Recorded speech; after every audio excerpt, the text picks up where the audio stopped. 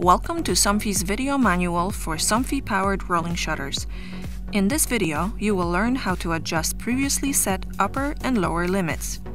You will need a previously programmed transmitter. To adjust the lower limit, send the shutter to its current lower limit by pressing down.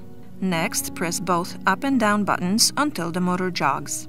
Choose the new lower limit position by pressing up or down buttons. Once the desired new position is achieved, confirm it by pressing My until the shutter jogs. To adjust the upper limit, first you have to send the shutter to its current upper limit. Next, press both up and down buttons until the motor jogs. Choose the new upper limit position by pressing up or down buttons. Once the desired new upper limit position is achieved, confirm it by pressing My until the shutter jogs.